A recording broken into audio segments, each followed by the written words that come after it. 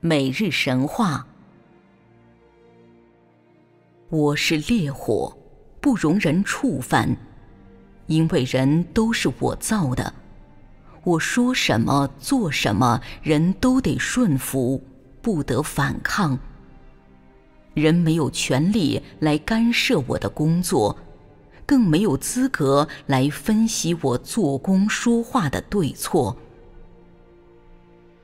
我是造物的主，受造的物该以敬畏我的心来达到我所要求的一切，不该讲理，更不该抵挡。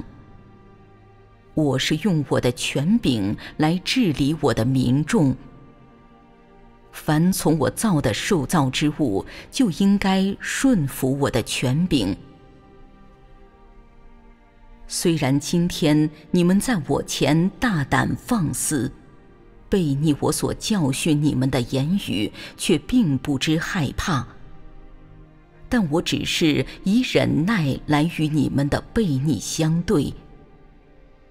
我不会因着一个个小小的蛆虫翻动了粪土而大动肝火，以致影响我的工作。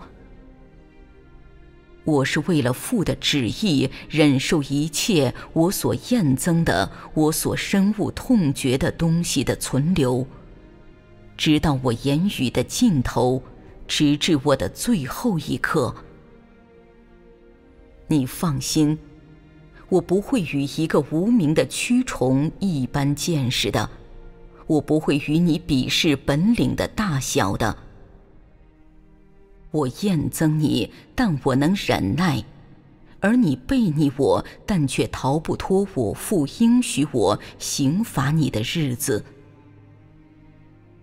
一个受造的蛆虫，真能比得过造物的主吗？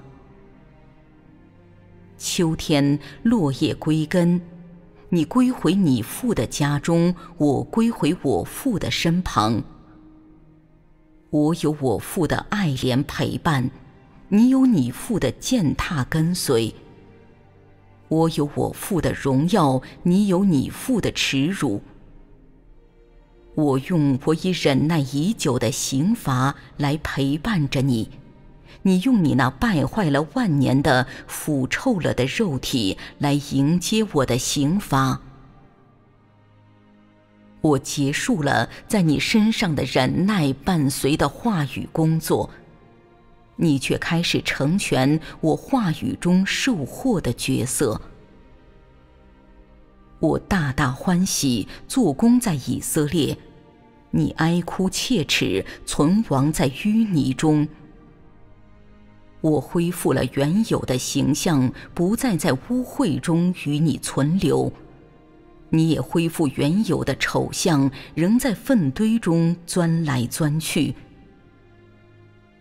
我工作说话结束之时，是我喜庆之日；你抵挡悖逆结束之日，是你哀哭之日。我不会同情你，你不得再见着我；我不会再与你对话，你再不得与我重相逢。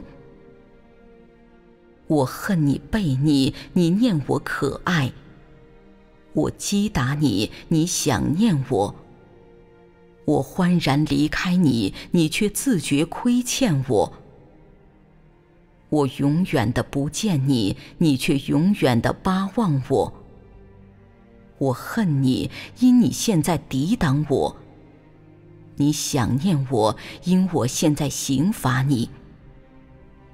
我不愿与你同居，你却苦苦的期盼，永远的哀哭。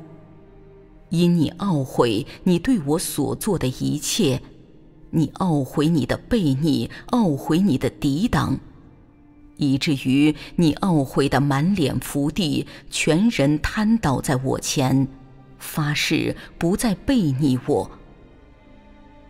你的心只是爱着我，却永远听不见我的声音。